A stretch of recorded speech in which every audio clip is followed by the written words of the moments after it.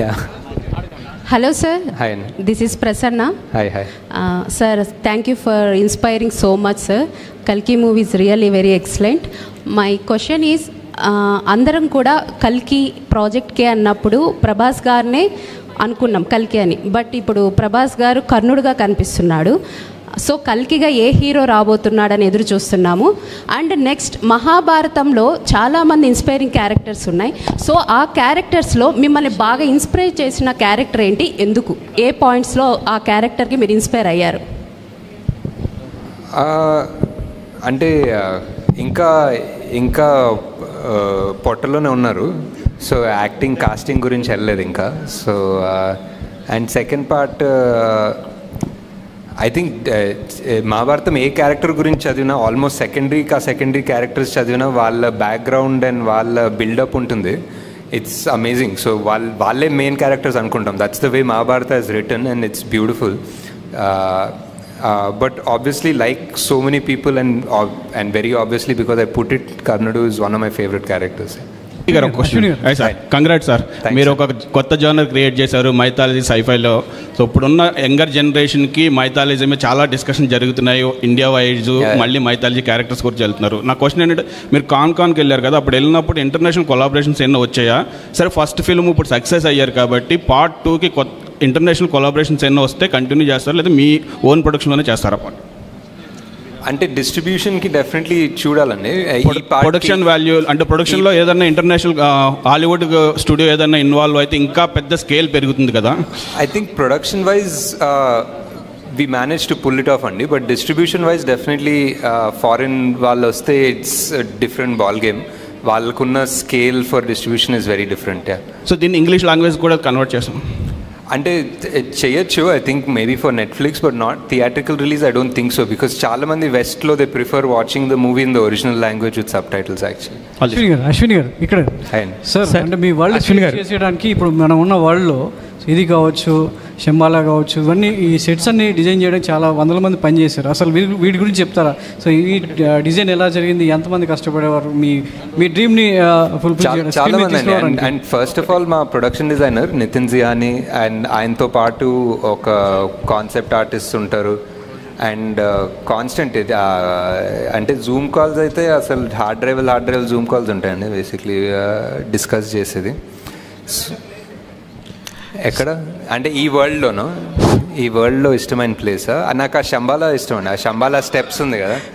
ఆ రేపటికి వస్తుంది ఆ స్టెప్స్ మీద కూర్చోవడం అసలు చాలా పీస్ఫుల్ ఉంటుంది. మీరు చూసారా అక్కడ? చూసాం. వెళ్ళారా? ఆ స్టెప్స్ ఇంకా చూపిలేదా? ఆ సన్ రైజ్ సన్సెట్ చాలా బాగుంటుంది అక్కడ సన్.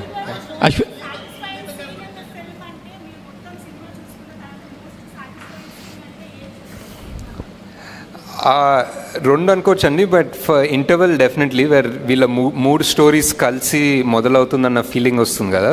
వెన్ ఆ దీపిక మొదట అడుగేసి ఆ మంటల్లో నుంచి వెళ్ళడం that's definitely my one of the original ideas and I think it came out almost as as I imagined it if not better sir Nagashwin గారు నాగ తెలీదు ఇంకా ఎవరిని అడగలేదు.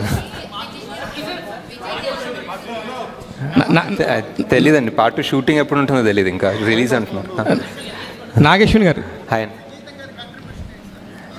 చాలా సార్ చాలా. అంటే మా చాలా డిస్కస్ చేసుకున్నాము. ఎర్లీ స్టేజెస్ ఆఫ్ ద స్క్రిప్ట్లో. ఇప్పుడు మళ్ళీ సెకండ్ హాఫ్ ఒక ఒక స్థాయికి వెళ్ళిన తర్వాత వెళ్ళి మాట్లాడతాను. అశ్విన్ గారు అశ్విన్ గారు. హాయ్ అండి. మీరు అశ్విని దత్ గారికి తప్ప ఇంకెవరికి సినిమాలు చేయరా సార్? అంటే కుదరట్లేదు సార్. అంటే ఒక్కొక్క సినిమా నాలుగైదేళ్ళు పడుతుంటే hi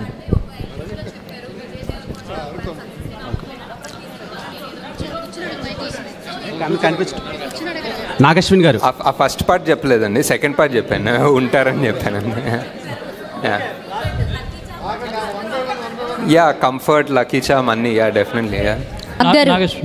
This is Swaroopa Potlapalli Delhi bureau chief of Andhraprabha executive editor మేము ఢిల్లీలో ఉంటాము. నేను మన తెలుగు సినిమాలు చాలా కూడా హిందీ వాళ్ళు మా నైబర్స్ అందరూ డాన్స్ వేస్తుండగా సాంగ్స్ పాడుతుండగా నేను చూశాను. ఇప్పుడు మీరు నో డౌట్ మీరు కల్కిని ప్రపంచ స్థాయికి తీసుకువెళ్ళారు. బట్ మ్యూజిక్ విషయంలో మాత్రం నాకు కొంచెం అసంతృప్తిగా ఉంది. ఎందుకంటే నేను నేషనల్ లెవెల్లో చూస్తాను నేను కల్కిని కాబట్టి. అంటే రెండు బ్యాలెన్స్ చేయడంలో ఎక్కడైనా మీకు ఇబ్బంది ఎదురైందా? ఇంకొకటి ఏంటంటే నేను ఢిల్లీ టు హైదరాబాద్ ట్రావెల్ చేస్తున్నప్పుడు చాలా హిందీ స్టేట్స్లో కల్కి మూవీ చూస్తాను. గూజ్ బంప్స్ అనమాట నాకు. ఏంటి మనం ఒక పని చేస్తున్నప్పుడు ఖచ్చితంగా ఒక టార్గెట్ మనం గా మొదలుపెట్టారా ఈ కల్కి మూవీని? లేదండి. ఐ జస్ట్ డెఫినెట్లీ ఒక ఇండియన్ ఒక ఇండియన్ ఫిలిం లైక్ మనకి లైక్ ఫర్ ఎగ్జాంపుల్ మీరు కాస్టింగ్ చూసినా మేము చాలా మటుకు ట్రై చేసాం. Casting all over the country తీసుకుందామని. Like whether it was Punjab Malayalam Tamil Marathi Bengali Telugu I we try to take north east నుంచి we try to take actors from everywhere ఒక pure Indian representation సినిమాలాగా తీద్దాం అనుకున్నాం. Not like ఇప్పుడు Bollywood target అలా ఏం కాదు. We just want make one Indian film that people all across India can be proud of Nageshwan గారు నాగి గారు. నాగేశ్వన్ గారు మ్యూజిక్ నాగన్న అంటే some parts are extraordinary in music some parts it can be better I think ఆ balance సరిగ్గా రాలేదు Nagi- but yeah Nagi గారు hi అండి hi. Yeah. Uh, I'm Karthik from Mahanews. So actually, I just want to say one thing. కృష్ణుడికి అందరూ elevations ఇస్తానంటున్నారు but కృష్ణుడికి కృష్ణుడితోనే మీరు ఆ కర్ణుడికి ఎలివేషన్స్ ఇప్పించారు. సో ఆడియన్స్ ఈ పాయింట్ ఆఫ్ వ్యూ మీద ఈ పాయింట్ మీద మీకు జై జైలు కాదు జై- ఇంకా చాలా కో- జ- నాగశ్వన్ గారు జై అని చెప్పేసి మాట్లాడుతున్నారు. దీని మీద మీ కమెంట్ ఏంటి? And one word about Prabhas గారు అంటే ఏం చెప్తారు? అంటే ఆ- ఆ సీన్ నాకు చాలా ఫేవరెట్ అండి. It it uh ending of the movie Krishnudu చెప్పడము and final reveal is one of the most అంటే సరిగా కుదిరింది అంటారు కదా సరిగా కుదిరింది. అండ్ ఆల్సో మహాభారతం చదివితే ఒక పది బుక్కులు ఏదో ట్రాన్స్లేషన్ తీసుకొచ్చి చదివాను ఈ సినిమా స్టార్ట్ అయినప్పుడు.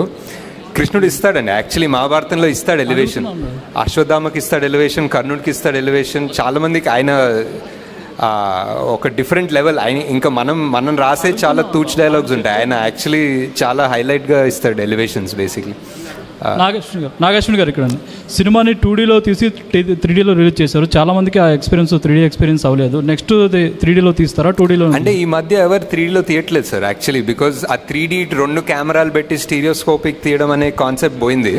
Because ninety percent of the film visual effects ఉంటుంది కాబట్టి. సో విజువల్ ఎఫెక్ట్స్ ఉన్న దాంట్లో మనం రెండు కెమెరాలు పెట్టి stereoscopic తీయలేము. It has to be a post three D only Nagashwin గారు. ఈ బుజ్జిని బాగా డిజైన్ చేశారు కదా దాన్ని ఏమైనా పేటెంట్ రైట్స్ తీసుకున్నారా? ఇది ఆర్టీఏ రూల్స్ కిందకి వస్తుందా? అదేదో ఒక టెంపరీ లైసెన్స్ ప్లేట్ ఇచ్చారండి యాక్చువల్లీ ఉంది ఒకటి.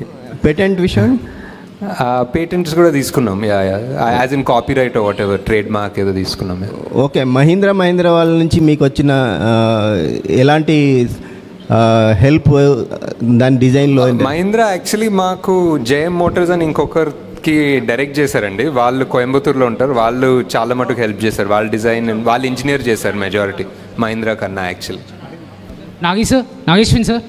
So Hi. one thing you have created a Kalki cinematic universe, at the see in the Marvel cinematic universe and X-Men cinematic universe they have merged there.